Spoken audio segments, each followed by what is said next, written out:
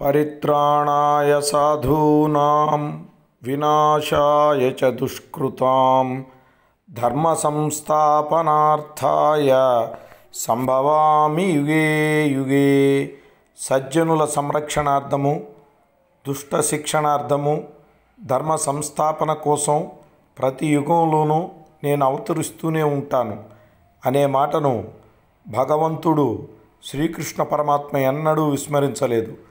పరధర్మ ప్రలోభాల్లో ప్రభావాల్లో నిస్తేజమై అణగారిపోతున్న హిందూ జాతి సంస్కృతులను సంస్కారాలను సంప్రదాయాలను పునర్జీవింపచేయడానికి తను కురుక్షేత్రంలో ఇచ్చిన మాటను నిజం చేయడానికి పాశవిక శక్తులైన గ్రీకు హూణ శక కుషాణులను ఓడించిన పౌరుష పరాక్రమాలను పునర్జాగృతం చేయడానికి పరధర్మంలో బలహీనమై వెయ్యి సంవత్సరాల బానిసత్వపు చీకట్లను తొలగిస్తూ ప్రభవించిన పూజ్య మహోదయుడు కేశవ బలిరాం హెడ్గవార్జీ నూట ముప్పై మూడవ జయంతి నేడు. వారు పంతొమ్మిది వందల ఇరవై ఐదు విజయదశమి నాడు భారత జాతీయ భావాలను పరిరక్షించడంలో భాగంగా ప్రారంభించిన సంస్థే రాష్ట్రీయ స్వయం సేవక్ సంఘ్. నేడు సంఘ్ జాతీయవాద భావాలను విశ్వవ్యాప్తంగా పరమ పూజనీయ మార్గాన నడిపిస్తూ ఉంది వారి ఆశీస్సులతో. భారతదేశపు ఆధ్యాత్మిక నైతిక సంప్రదాయాలను పరిరక్షించడమే సంఘ్ హైందవాన్ని ఒక మతంగా కాక ఒక జీవన విధానంగా భావిస్తూ భారత జాతిని మరియు భారత ప్రజలను భారత మాత రూపంలో భావించి వారిని సేవిస్తూ భారతదేశాన్ని తమ మాతృభూమిగా భావించే ప్రజల ప్రయోజనాలను పరిరక్షించడమే ఆశయంగా ముందుకు సాగుతోంది. భారత జాతీయ లక్ష్యాలైన త్యాగము సేవలను స్మరిస్తూ కాషాయ పతాకం అంటే భగవద్ధ్వజంను తమ పరమగురువుగా ఎంపిక చేశారు నాడు డాక్టర్ జీ సమాజ హితం కోసం సర్వస్వం త్యాగం చేయాలనే దానికి ఆ భగవద్ధ్వజం ప్రతీకగా వ్యక్తిని ఆరాధించడం కంటే భారతీయ తత్వాన్ని గురువుగా ఆరాధించడం ఉత్తమం అనేది ఇందులోని నిగూఢ అర్థం. సంఘ్ యొక్క తొలి సర్వోన్నత అధికారిగా అంటే సర్ సంఘ్ చాలక్గా వ్యవహరించి భావితరాలకు దిశానిర్దేశం చేశారు ఆ యోగి పుంగవుడు. ఇప్పటికీ ఆ మార్గాన సాగుతున్న సంఘ్ వారి పవిత్రతకు పావనతకు సజీవ సాక్ష్యంగా కనిపిస్తోంది. రాష్ట్రీయ స్వయం సేవక్ సంఘ్ మరియు సంఘ్ అనుబంధ సంస్థలన్నింటినీ కలిపి సంఘ్ పరివార్ అని పిలుస్తారు.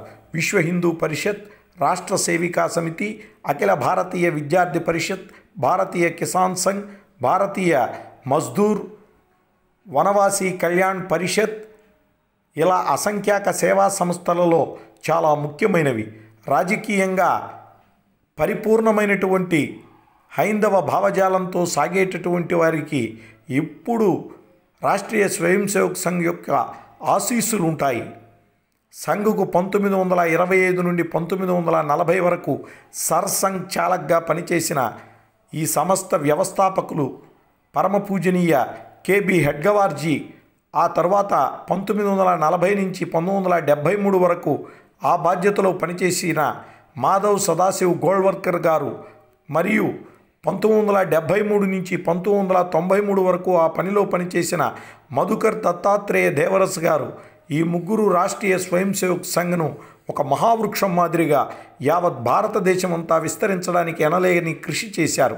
ప్రస్తుతం పూజ్య మోహన్ భగత్జీ డాక్టర్ జీ ఆశయ సాధనలో నిష్కలంక దేశభక్తితో అహర్నిహసలు జాతీయ భావాలతో వాటి వ్యాప్తికే కొనసాగుస్తున్నారు. తమ యొక్క జీవన యానాన్ని దేశవ్యాప్తంగా సంఘ్ అనేక అనేక రంగాలలో సామాజిక సేవా కార్యక్రమాలతో పాటు ప్రకృతి వైపరీత్యాలు విపత్తులు సంభవించినప్పుడు పునర్నిర్మాణ కార్యక్రమాలలో పాల్గొని నిరుపమానమైన సేవలను అందించింది అందిస్తూ ఉంది అందిస్తుంది కూడా.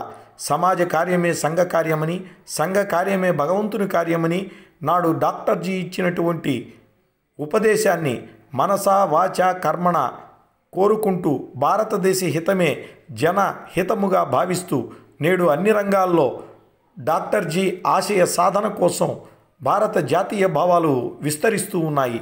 ఎనిమిది వందల సంవత్సరాలు మొఘలుల పాలనలో రెండు వందల సంవత్సరాలు బ్రిటిష్ క్రైస్తవ పాలనలో మనం కోల్పోయిన హిందూ జాతీయ స్వాభిమానాన్ని తిరిగి పునర్జీవింపచేసిన డాక్టర్ జీకి నమస్కరిస్తూ ఇంతటి మహోన్నత మానవుడిని అందించిన వారి తల్లిదండ్రులు పూజనీయ బలిరాం పద్ హెడ్గవార్జీ మరియు రేవతీభాయి గారులకు ప్రణమిల్లుతూ భారతమాతకు వందనం తెలుగు తల్లికి అభివందనం.